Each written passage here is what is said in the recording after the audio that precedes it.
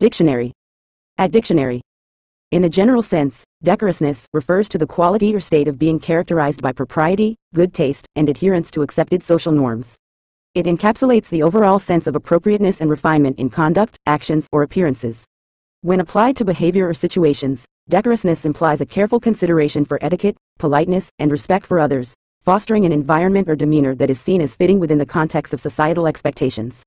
The term underscores the importance of maintaining a dignified and well-mannered approach, particularly in formal or public settings, reflecting a commitment to upholding standards of decency and cultivating a positive and respectful atmosphere.